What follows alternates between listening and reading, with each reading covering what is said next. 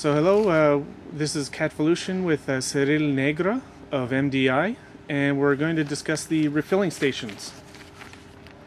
So uh, these refilling stations, how do they work? The, the idea of the refilling station, refilling station is to fill some tanks, some fixed tanks, uh, with a big compressor. And when these tanks are, are full, the car is arriving next, next to the air station and you transfer the air from these big tanks to the car. That's the idea, is to compress the air outside of the car and transfer the air to the car when you need uh, to fill the car. What's the maximum number of cars per day that they can handle? It depends on the dimension of the air station we choose, but uh, in our mind we should do one car each five minutes, like a petrol station. Can they work continuously? Yes, it's possible to work continuously, but it is better to compress the air during the night and use it during the day. This is to avoid some kind of trouble we can have on the net, because electricity is, uh, well, in France, very often thrown away during the night, so we could use this electricity to compress the air and then uh, fill the car during the day. Have these stations already been designed? There do already exist the same kind of station for gas, natural gas, but uh, we just have to adapt the system. What, that's what we've done for compressed air. But it's quite easy because uh, the tanks are still made.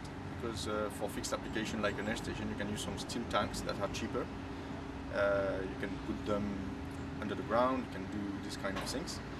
But uh, it is very easy to take in uh, uh, on the shelf some components like the compressor, like the tanks, and to put all them together to fill the, the car. Okay. Uh, refilling the air tanks at home, uh, do the internal compressors exist?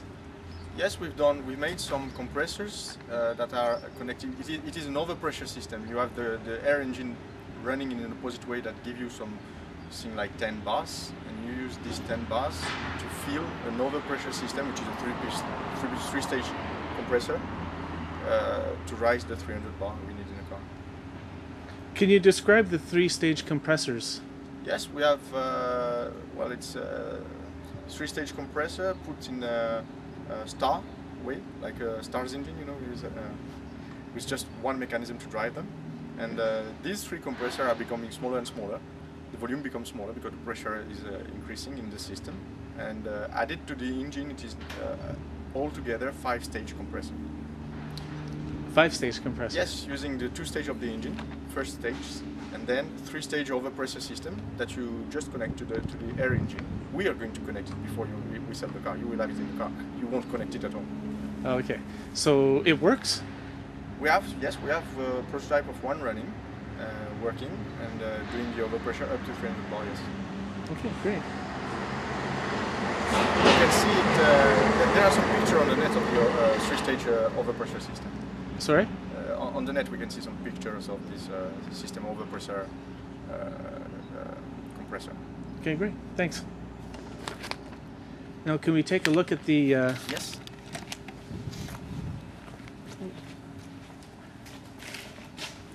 So this is the, the air station. We are inside of the air station. You have a compressor that is going to fill these tanks, which are steel tanks, connected all together. And uh, the pressure inside of the tank is going to be 350 bar. This allows you to charge a car at 300 bar within few minutes. Well, this one is dimension for our facility just to we, we can fill one carriage 20 minutes with this one, but you just have to imagine that we have more tanks and a bigger compressor to fill one carriage five minutes. Okay. MDI is also working on some system, uh, we've patented a few systems and we are working uh, in producing air using renewable energy. like what? Uh, We can do with uh, wind turbine. We can do with. Uh, we've done a system on a river using some small turbine on a river and filling tanks uh, on a kind of boat where there is the air station. And uh, also we can do this with solar panel or a mixture of all these uh, renewable energy. so it'll be completely green. Yeah. Energy. This is anyway our target at the end to have some green energy to compress the air, of course. Okay. So it'll be a completely fossil fuel free Yes. vehicle. Yes.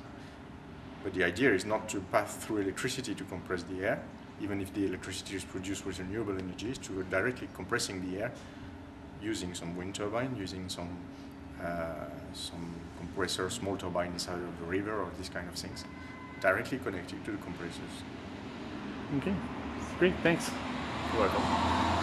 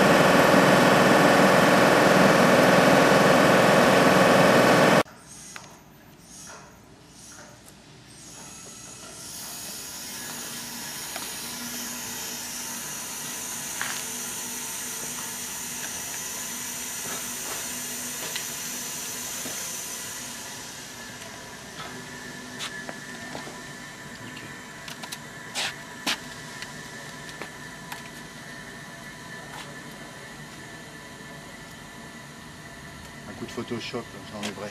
Ouais. Dans le trajet euh, Ouais, ouais, c'est pour Paris, là, que, ouais, sur les côtés aussi, ça a pris. euh, ça a un peu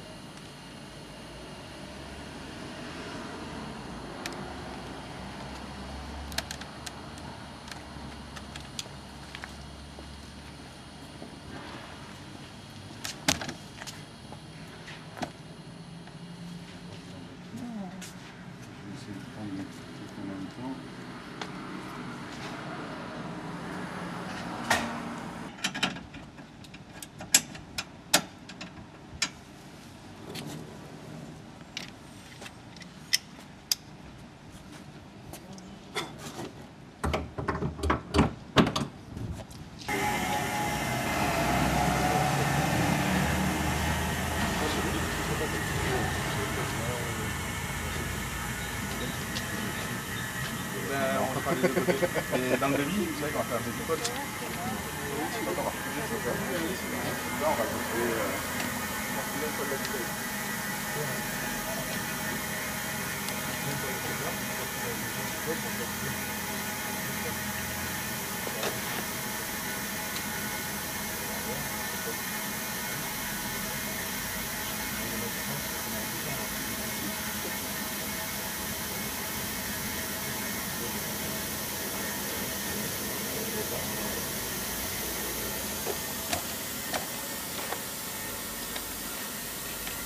simplement que je vois le. Voilà, comme ça, je vois l'action. J'ai pas. Non, mais j'en sais rien. Euh, c'est même pas ce qu'elle disait. Euh, hein?